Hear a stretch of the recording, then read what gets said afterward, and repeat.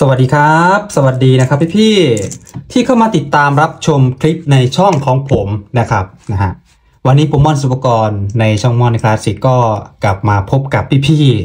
อีกคลิปหนึ่งนะครับ และไม่ใช่มีคลิปนี้นะครับ จะต้องมีคลิปต่อๆไปถ้าได้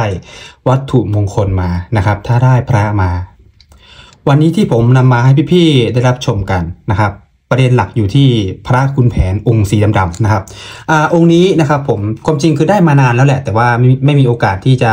นำมาทำคลิปหรืออ่านำมาโพสให้พี่ๆได้รับชมนะครับ นี่คือคุณแผนพายเก้านางนะครับพายเก้านาง ของท่านอาจารย์หมอธรรมอ่าคารวาสผู้เรืองเวทของจังหวัดศรีสะเกดนะมนต์ขลังแห่งแดนอีสานใต้นะครับ อันนี้เป็นเนื้อผงแล้วก็ผสมมวลสารผสมผสมนะครับ ไม่ใช่ผสม ผผสมมวลสารพรายเก้านาง คือมีแม่แม่เก้าท่านที่อยู่ในพระองค์นี้นะครับนะเดี๋ยวค่อยว่ากันเนาะวันนี้ครับนะครับ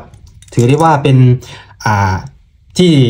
ยังไงล่ะทำให้พี่ๆได้รู้จักผมนะครับ ก็ถือได้ว่าเป็นพระรุ่นนี้แหละนะครับ ที่ผมแรกๆเมื่อผมได้ทำคลิปนะครับอ่าตั้งแต่ปี 2 ปีก่อนนะครับที่ผมเริ่มทำคลิปก็นำประสบการณ์ปฏิหารเนี่ยมาเล่าให้พี่ๆได้รับฟังกันนะครับ ก็คือเป็นพระขุนแผนปลุกหงพรายนะครับ เป็นพระขุนแผนปลุกหงพรายพันสามร้อยตน ของครูบาวสินนะครับครูบาวสินแห่งวัดศรีฐานอกนะครับอำเภอป่าติ้วจังหวัดยะโสธรถือได้ว่าท่านเป็นเกจิคณาจารย์ที่ถ้าถ้ายังไงอะครับมีครูบาอาจารย์หลายท่าน และได้ทุดงเก็บมวลสารคำว่าพราย 1,300 ตน นั่นก็คือท่านในทุดงและได้เก็บมวลสารพราย รวบรวมชนวนมวลสารถึงได้สร้างพระรุ่นนี้ขึ้นมานะครับเอาง่ายๆท่านเป็นลูกศิษย์ของหลวงปู่เกลี้ยงนะครับ วัดโนนเกตจังหวัดศรีสะเกดนะครับ ท่านเป็นศิษย์หลวงปู่เกลี้ยงนะครับ อายุ 111 ปีนะครับ และท่านได้เคยเดินทางไปขอดำเนินวิชาจากหลวงปู่ยาท่านสวน ยาท่านสวน วัดนาอุดม จังหวัดอุบลราชธานี ถือได้ว่าเป็นสุดยอดเกจิคณาจารย์ที่มีชื่อเสียงและเป็นสายพุทธาคมของหลวงปู่สำเร็จรุ่นแห่งประเทศลาวนะครับ หลวงปู่ยาท่านสวนนะครับ เป็นสิทธิ์ในสายของหลวงปู่สำเร็จรุ่นนะครับ ไม่ใช่สมเด็จสำเร็จรุ่นนะครับ ก็ถือได้ว่าครูบาสินนั้นท่านก็ได้ไปขอเริ่มเรียนวิชา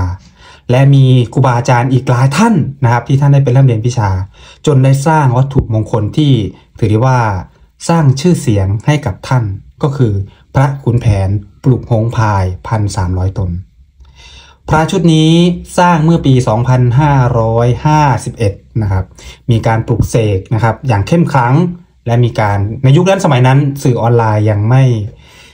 ยังไม่แพร่หลายนะครับ ก็มีการลงข่าวหนังสือพิมพ์นะครับ ก็ถือได้ว่าผมก็รวบรวมมาให้พี่ๆได้รับชมกันในคลิปนี้ ซึ่งคลิปก่อนนะครับเป็นองค์นำเลิก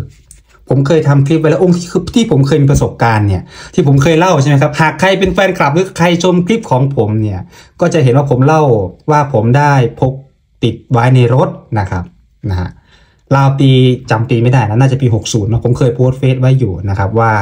ไปซื้ออกล้วยมูเลนนะครับนะประสบการณ์รุ่นนี้นะแต่ไม่ใช่องค์นี้นะองค์นั้นตะกุด 5 ดอกมีคนบูชาไปแล้วนะครับนะมีพี่ท่านหนึ่งมาขอบูชาไปแล้วนะครับ ก็ปล่อยไป 2,800 บาท ผมยังจำได้นะครับ พระองค์นั้นนะครับนะประสบการณ์เนี่ยก็คือสำหรับตัวผมรุ่นนี้นะก็คือ ขับรถไปซื้อกล้วยมูเลนนะครับปัจจุบันนี้ก็ยังตั้งร้านอยู่ที่เดิมนะร้านมูเลนกล้วยมูเลนกล้วยทอดอินโดนีเซียนะครับอยู่ที่ตรงข้ามปั๊มน้ำมันปตทสาขาสวนพญาแถนในตัวเมืองจังหวัดยะโสธรนะครับ พอไปซื้อแล้วนะครับนะฮะพอไปซื้อซื้อกล้วยมูเลนนะครับแม่ค้าเขาก็ทักนะครับแม่ค้าผัวผัวเมียเนาะจำไม่ได้ว่าผัวหรือเมียทักนะครับ ทักว่าอะผู้นางมานั่งบอยากกินน้ำบอนะครับ ก็คือคนที่นั่งมาด้วยไม่กินด้วยหรอ ไม่ซื้อไปให้ด้วยเหรอนะครับ ผมก็บอกว่าเอ้ผมมาคนเดียวนะครับเขาบอกว่าเป็นผู้หญิงนะครับตัดผมทรงหน้าม้านั่งมาด้วยไม่กินด้วยเหรอเขาว่าอย่างนั้น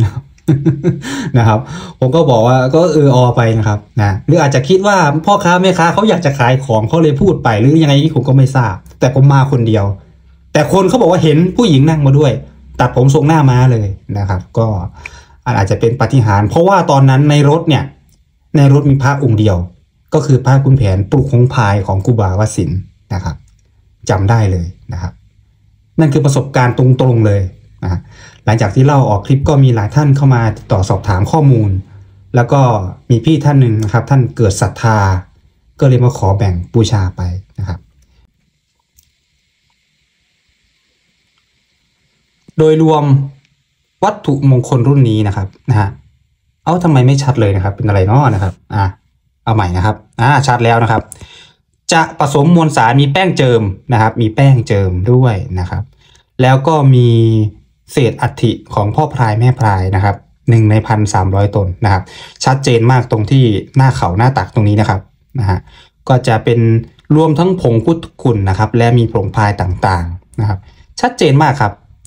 และมีมีเศษธนบัตรที่ปลูกเสกด้วยนะครับ มีมีแบงค์ที่ธนธนบัตรที่ปลูกเสกผสมอยู่ด้วยนะครับ ดูครับนี่นะครับ ดูเศษอัฐินะครับ อันนี้คือแป้งเจิมนะครับ อยู่ระหว่าง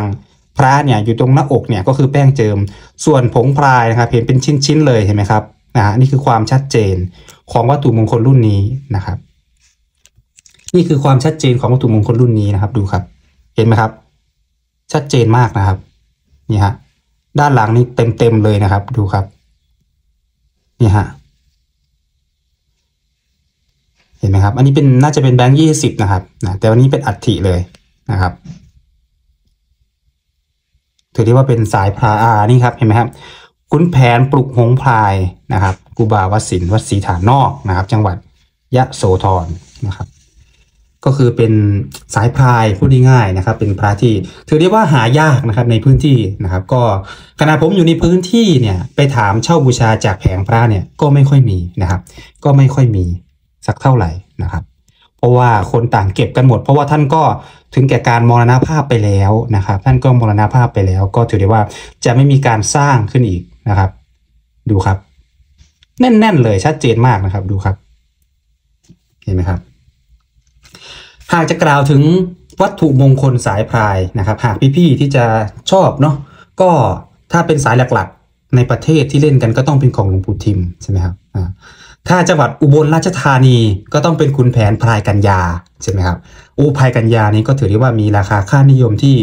ถือได้ว่าสูงพอสมควรนะครับ เพราะว่ามีประสบการณ์มากมายนะครับ คุณแผนพรายกัญญา ถ้าจังหวัดกาลสินเนี่ยผมต้องยกให้หลวงปู่หาสุภาโรนะครับพรายแม่สีนวลนะครับ และพรายมหาพูดของท่านอาจารย์หมอธรรมผู้สร้าง ที่จังหวัดศรีสะเกดและยะโสธรมีท่านเดียวที่สร้างนะครับ มีท่านเดียวที่สร้าง ก็คือครูบาวสินแห่งวัดศรีฐานนอกนะครับ มีท่านเดียวและมีชื่อเสียงอย่างมาก ผมการันตีว่ามีประสบการณ์จริง ๆนะครับ แต่ต้องเชื่อมั่นและศรัทธานะครับ เชื่อมั่นและศรัทธาบูชาย่อมให้ผลนะครับ ผมเชื่ออย่างนั้นนะครับ พี่ๆนะครับดูครับ ให้ดูอีกครั้งหนึ่งนะครับนะครับ อันนี้คือสายพรายแท้ๆเลยนะครับ มีความชัดเจนมากนะครับ สวยงามครับ มีกุมารทองด้วยนะครับนะเสร็จจากวันนี้นะครับ ก็ว่าจะเอาไปเลี่ยมกันน้ำสักหน่อยครับเพราะว่าต้องรักษาสภาพพระเนาะถือว่าหายากนะครับนะฮะ นะครับพี่ๆหากชอบหรือสนใจนะครับ ก็ทักกันเข้ามาได้นะครับ ผมเปิดอยู่ที่อ่า1,300 บาทนะครับ1,300 บาท เท่าจำนวนของอ่าพ่อพายแม่พายเท่าเท่าจำนวนรุ่นนะครับ เปิดที่ 1,300 บาทนะครับ หากเป็นพี่ชอบหรือสนใจก็ทักกันเข้ามาได้ 0647744808 เป็นเบอร์โทรของผมนะครับ โอเคครับ